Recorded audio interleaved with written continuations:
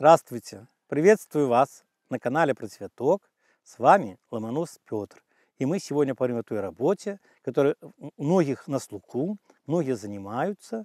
Ну, я хочу рассказать о том, что нравится мне. Это сидераты. Как их правильно посеять и как получить максимальный эффект. Ну, конечно, если у вас участок маленький, о сидератах речи не идет. В июльских посевах, в этом ролике, если вы посмотрите, я рассказывал, какие культуры можно посеять после раннего картофеля и озимого чеснока. Ну, если вас площади позволяют, значит, тогда эту землю для того, чтобы не зарастала сорняками, накапливала влагу, сохраняла влагу, э, ну и, соответственно, повышала свое плодородие, мы будем засевать сидератами. Я работаю уже не первый год, уже давно применяю их на своем участке. Конечно, есть э, э, какие-то любимые, но я скажу так, что любой сидерат, я заметил, что лучше не надо считать, что он любимый или нелюбимый, он даст эффект. И эффект гораздо больше в смешанных посадках. В чем смысл? Значит, э, я не перекапываю почву. Уже убедился, что для почвы это вредно. Почва летом пересушенная, мы перекапываем, она еще больше подсыхает. И всходов сидератов, как бы мы ни поливали, приходится ждать долго. Э, на своем опыте я убедился в прошлом году, что они всходили почти месяц. Я уже думал плохие семена, что семена лежали. А потом, когда зародили дожди, стали идти каждый день дожди, мы сидераты поусходили. Поэтому делаю гораздо проще. Копаю ранний картофель, копаю озимый чеснок, сразу беру, делаю бороздки и в бороздки высеваю сидераты. Например, один рад э, бобовые, ну я использую в частности это люпины, второй рад злаковые, это может быть э, у меня овес, э, тритикалия или рожь, любая из этих культур – вот. И третий ряд я могу или гречихой засевать, или белой горчицей. Горчица белая также очень хорошо, она сетирирует почву, оздоравливает почву, уменьшается количество ну, вредных объектов нашей почве. Ну, многие скажут, Петр Николаевич, что вы вот как-то задуриваете голову, вы тут эти каждый родочек съедете отдельно. А почему не взять все вместе, смешать в кучу и посеять? А вот это я не рекомендую. Почему? Потому что и развитие разных растений происходит по-разному. Кто-то вначале растет медленно, потом быстро, кто-то сразу быстро.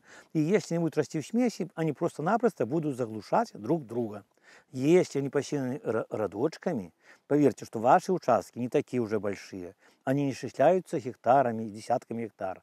А там те 5-6 соток, а на сидераты у вас вообще полсотки сотка, вы можете приложить больше старания. Ну, технология посева сидерата очень простая у меня. Значит, делаю бороздочку, пролива, проливаю ее и в эту бороздочку высеваю семена. Ну, расстояние между бороздочками где-то сантиметров 15. Через 15 сантиметров высеваю следующую культуру.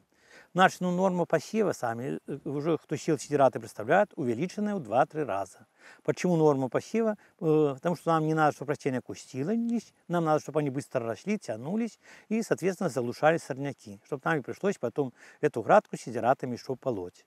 Поэтому э, норму завышаем. Ну, в последнее время я сделал для себя такое интересное открытие что э, если при посеве вот эти родочки в воду добавить определенные препараты фирмы Profit, вот такой э, гриб метеризиум, он может быть как в, жидко, в жидком виде, так может быть и в форме гранул, порошка.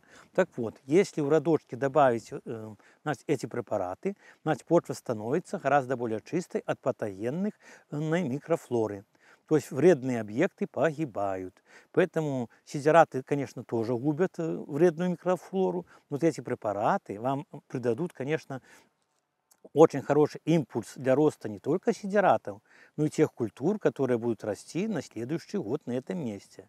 Я уже убедился, там, где были применены э, кроме сидератов, еще и полив вот этими препаратами, растения развиваются гораздо лучше, более, мощ, более мощные вот, и меньше болеют.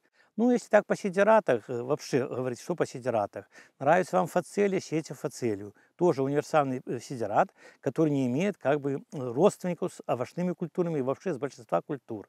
Поэтому после фацелии также растет все очень хорошо. Э, нравится вам э, рапс, сейте рапс. Но не забывайте, что если вы сеете рапс или редьку даже, или ту же горчицу полностью на участке, значит на следующем году вам уже нельзя будет садить там растения семейства крестоцветные. А это и редиска, это и капуста, и, и, и репа, и бруква, ну, целый ряд культур, которые нельзя садить. А вот при этом способе, что я вам рассказал, когда вы себе просто родковый способ внесения э, посева сидератов, значит, мне не надо э, просто задумываться, что у меня росло в прошлом году, что я буду садить в этом году. Потому что настолько это самая ну, микрофлора почвы как бы изменяется под действием разного сидерата, что уже каждое растение будет находить для себя оптимальную микрофлору для своего развития и будет меньше болеть. Поэтому смотрите, покупайте любые сидираты, но я советую их мешать, комбинировать родок, э, через родок. Ну, я вам назвал комбинацию самую простую. Три рада. Можно и гречиху посеять четвертым радом, можно еще какую-то культуру посеять. Э, ну, выбор сидирата очень большой. Из того, что есть продажа, вы подбираете. Ну, вот посеете один раз родочком, не пожалейте э, ну, времени не пожалеете. Почему? Потому что вам не надо будет копать. Копать уже не будете, вы уже время сэкономите. Посеяли родочками, родочки пролили, всходы появились очень быстро, сидираты ваши будут развиваться очень хорошо, и уже к осени они будут иметь хорошую массу. Ну, массу как бы я стараюсь не оставлять на поверхности, а где-то в конце сентября, начале октября эту массу я уже заделываю почву, перекапываю почву, она хорошо э, минерализируется, и как бы это дополнительное удобрение, вроде это и не свежее органическое удобрение, а уже такое перепревшее, хорошее, оно почва зеленая быстро загнивает, и любые культуры, отзывчивые, неотзывчивые на органику, растут прекрасно. Поэтому собираю хороший урожай разных культур. Вот и с вами поделился этим опытом, чтобы вы взяли его на вооружение. До свидания.